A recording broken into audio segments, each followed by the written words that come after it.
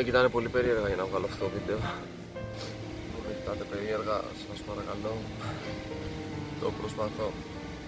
Από τότε που θυμάμαι τον εαυτό μου, πραγματικά προσπαθούσα να βρω αυτό κάτι που θα αλλάξει τη ζωή μου και είχα φτάσει σε ένα σημείο να σπαταλάω πάρα πολύ από τη διάθεσή μου για τον χρόνο μου και ανησυχούσα ότι δεν είχα χρόνο. Οπότε έφτασα στο σημείο να σπαταλάω χρόνο ανησυχώντας ότι δεν έχω χρόνο. Αυτή τη στιγμή βρίσκομαι στην Νορβηγία.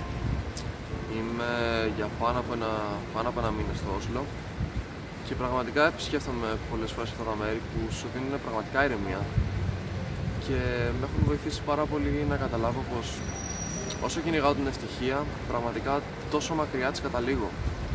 Είναι, είναι απόλυτα λογικό να θέλω την ευτυχία στη ζωή μου, αλλά επιδιώκοντας να τη βρω, ξεχνούσα τι πραγματικά σημαίνει. Γι' αυτό το λόγο κατάλαβα πως η ευτυχία δεν είναι τελειότητα. Τίποτα δεν είναι τέλειο και πραγματικά ποτέ δεν θα είμαι. Όσο προσπαθώ λοιπόν να βρω το τέλειο πρόγραμμα για τη ζωή μου, το τέλειο πρόγραμμα για την καθημερινότητά μου και εν τέλει την τέλεια ζωή, καταλήγω σε μια πάρα πολύ μίζερη καθημερινότητα, γεμάτη ανασφάλεια και θλίψη και πραγματικά έζησα αυτή την καθημερινότητα για ένα μεγάλο διάστημα. Τηλέφωνο από τη Windows, να μάθουμε ράπτες. Συνειδητοποίησα λοιπόν πως η ευτυχία βρίσκεται ανάμεσά μου.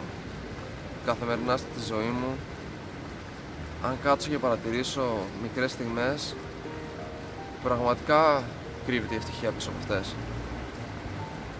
Και το πιστεύω βαθιά πως η ευτυχία είναι οι στιγμές. Οι στιγμές με τους φίλους σου, οι στιγμές που περνάς με την κοπέλα σου, με την οικογένειά σου και και όσο το θυμάμαι, ξέρω ποιος πραγματικά είμαι και πού ανήκω.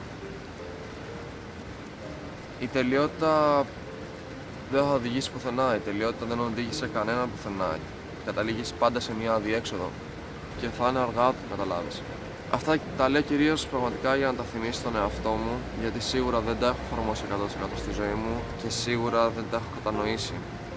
Ακόμα, πραγματικά ακόμα το παλεύω να τα εφαρμόσω. Πιστεύω βαθιά πως Πιστεύω βαθιά πως ό,τι συμβαίνει, συμβαίνει για κάποιο λόγο και σίγουρα την κατάλληλη στιγμή. Οπότε το να προσπαθώ εγώ να βρω την ιδέα που θα με κάνει πλούσιο ή το, αυτό το κάτι που θα μου αλλάξει τη ζωή, σίγουρα είναι αντίθετο σε αυτό που πιστεύω. Όσα λεφτά και να έχω, όσο, όσα υλικά αγαθά και να έχω, πάντα θα θέλω περισσότερα.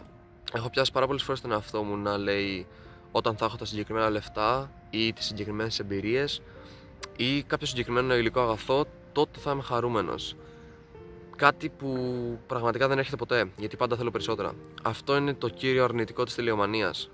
Το να σου δίνει την ψευδέστηση πως όταν ικανοποιήσεις μια συγκεκριμένη ανάγκη, τότε πραγματικά θα είσαι, θα είσαι χαρούμενος.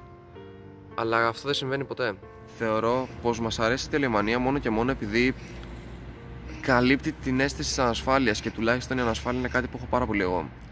Κάπου εδώ θέλω να να, να σας πω κάποια λόγια του Jim Carrey που πραγματικά περιγράφουν ό,τι θέλω να πω μέσα σε δύο προτάσεις και ελπίζω να τα νιώσετε πραγματικά όσο το έχω νιώσει εγώ. It's great. I mean, it looks great when you got a cool car and you got good, nice clothes and you know and you're uh, and you've done something that people admire, but it can never fulfill you. You can never be happy. You know what I mean? It's not it's not where happiness comes from. Ελπίζω κάποια στιγμή όντως να τα εφαρμόσω στη ζωή μου αυτά τα λόγια και ελπίζω να το κάνετε κι εσείς. Τι πιστεύετε;